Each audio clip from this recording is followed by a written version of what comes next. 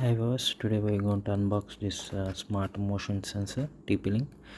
Uh, this is also required uh, as TP-Link uh, smart hub. Tapo smart hub is required. So this is the box. Uh, this also works on RF frequency. Uh, top hub required. So this is the package content batteries. It runs on CR 2450 not like a regular 20 normal 20 it's like something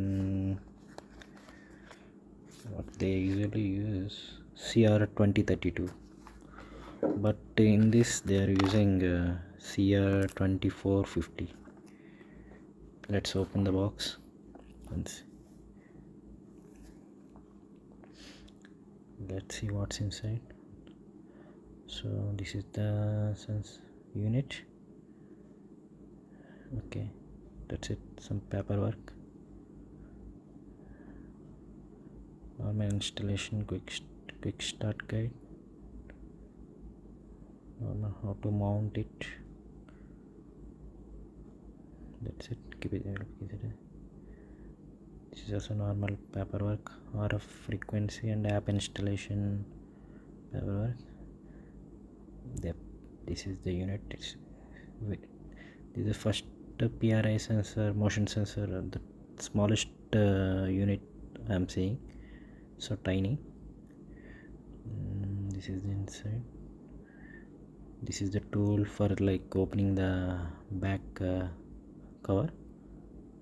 Some pry tool type they have given. And this is the 3m sticker round this mount this mounting actually has a magnetic uh, also. I will show you later in this video. This is the unit. This is the Fresnel lens.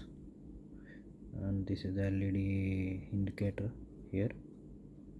Nothing else. Let's open this. This is the indicator. This is the rubber. Actually this this is the rubber kind of thing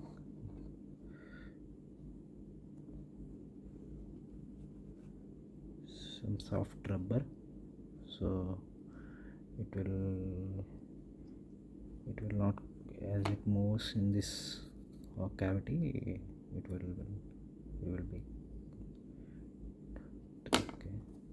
You can see inside you can see the neodymium magnet. So it will stick to the magnet as well. Like this they also given 3 mm tape 3 mm double sided tape as well so you can use anything. So this is the thing. So and uh, if I need to open this cap you need to use two hands. First of all you need to raise this tab and twist it. As, as you can see the arrow mark. So first of all see how tiny this one is. See, let's compare it with this. So this is the battery normal battery. You, guys know so see how tiny this one.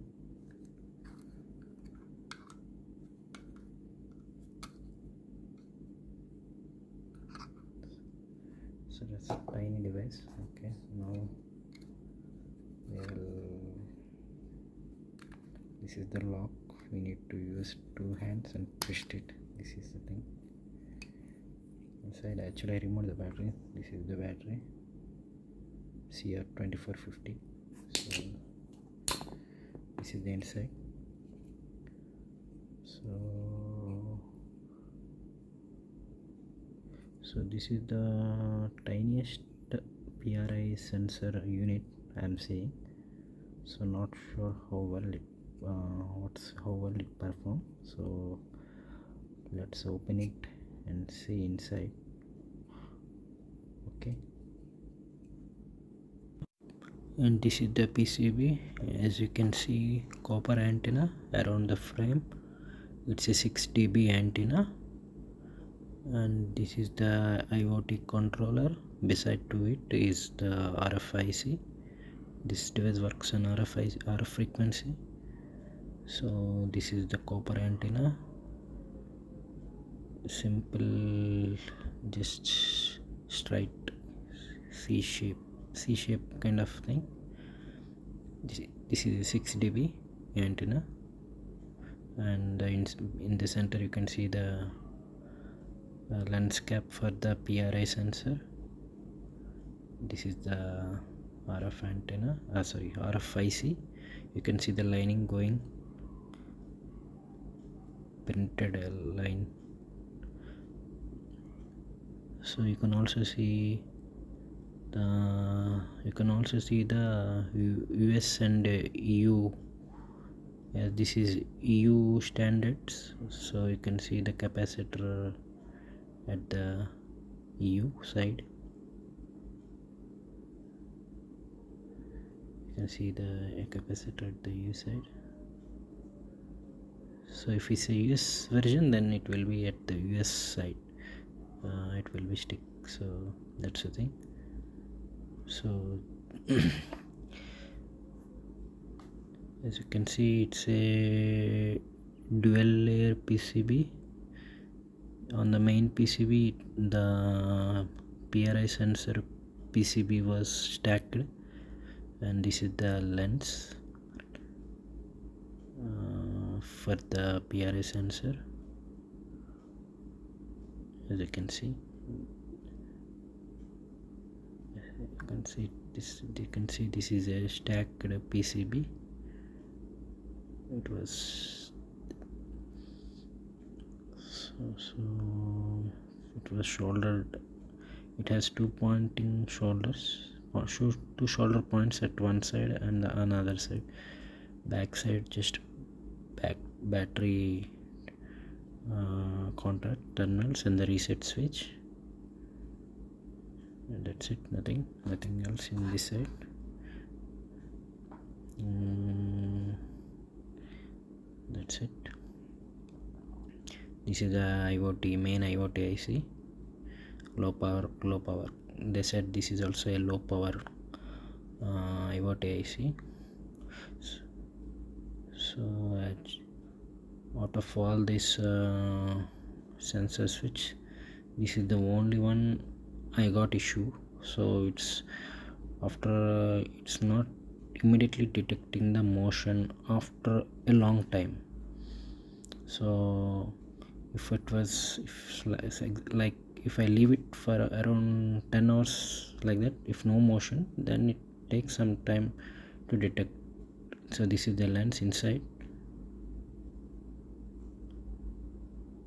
so this is the lens cap on the PRI sensor. You can see the windows. This will decide the uh, like a field of view. Like and then this is the PRI sensor you can see.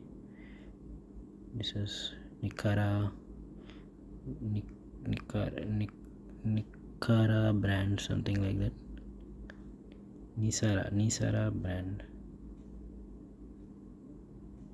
Okay. This is the PRI sensor. The, the, the only problem I noticed with this and, and this uh, sensor I mean this unit this product is like uh, it's sometimes not triggering the motion at the first moment.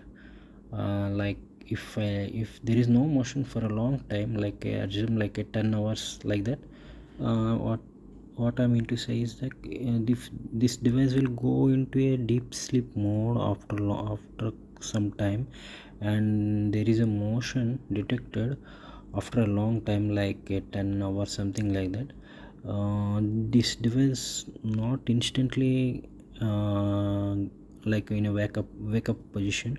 So it misses that first motion detection. After uh, after that it will detect immediately.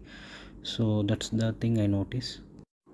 Also i want to mention uh, one thing here that uh, after a long time when there is no motion this device going to sleep more uh, due to which when you observe in the uh, in the Tapo app uh, if we check the device information there will be no signal.